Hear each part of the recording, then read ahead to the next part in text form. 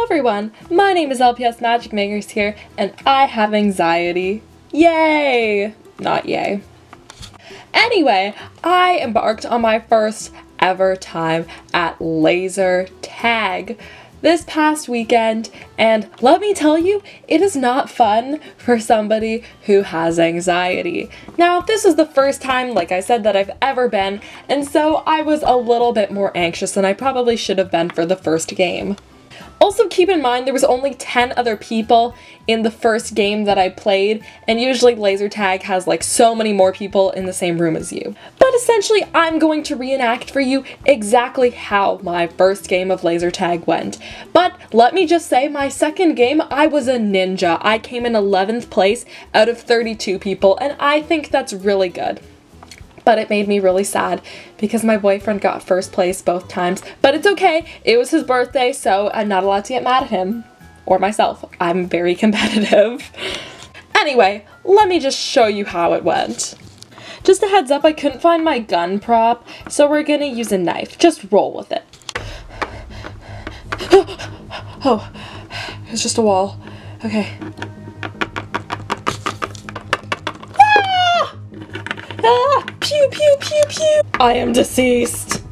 Okay, now it didn't exactly go like that, but it did consist of my friend and I, um, kind of hiding on the bottom floor of the laser tag arena while everybody else, and I mean literally everybody else, ran upstairs and was fighting to the death.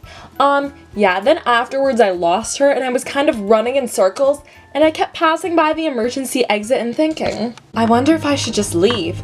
Maybe nobody will notice. And can I also just say, for anybody, I think it is the worst possible feeling when you are A, already shaking, but then somebody shoots you and then like your laser tag like chest thing, like the suit you're wearing, shakes that's a horrible feeling. Like, personally, it made me feel sick, um, but laser tag was hecka fun the second time, and so, like, now I'm kind of obsessed and want to go again, but also, like, really scared.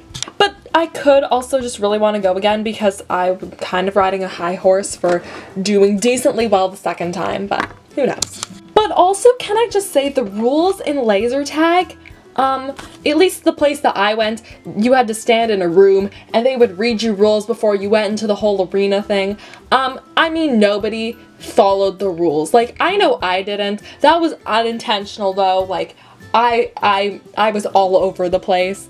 I even got scared when the person that was monitoring the game whenever I would pass them, I would see them and I would get scared and then they would get mad at me and I'd be like, I'm sorry, I'm just on edge. I feel like I've had a lot of coffee, but I've had no coffee today. Anyway, that is just a small taste of my uh, experience playing laser tag for the first time. Um, not gonna lie, my ego was kind of bruised when a lot of kids that were younger than me beat me, but um, we're just not gonna think about that. Anyway, I hope you all enjoyed this video. I'm sorry it's all over the place, but yeah, I don't know what to say. But thank you all so much for watching, and I will see you all in my next video. I love you all so much. Bye.